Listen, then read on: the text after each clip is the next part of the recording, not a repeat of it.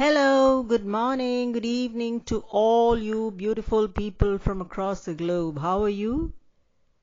Today's little thought is about unless you change the way you think, nothing changes for you.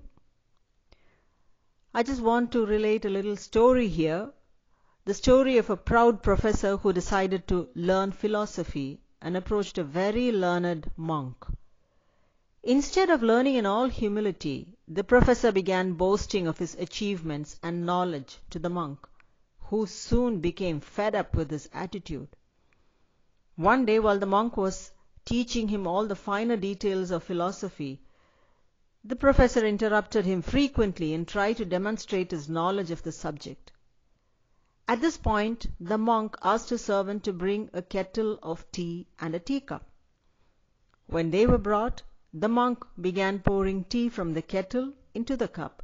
He continued to pour even after the cup was full. It soon overflowed and the tea spilt onto the table. Irritated with this, the professor shouted, Stop! Can't you see that the cup is full? The monk calmly replied with a smile, And so is your mind. Unless you empty it, how can you learn? Just as it is not possible for me to pour any more tea into this teacup which is already full, I cannot impart any more wisdom to you because your mind is swollen up with so much of conceit that it cannot imbibe anything. Are we like this learned professor? If we think that we know everything, then we cannot improve ourselves. If we think that our present activities are perfect in every way, we cannot think about changes. But if we have the mindset to change and are willing to take a closer look at the way we do things, we will certainly notice that there is a lot of room for change, and it is this realization that triggers creativity and leads to innovations.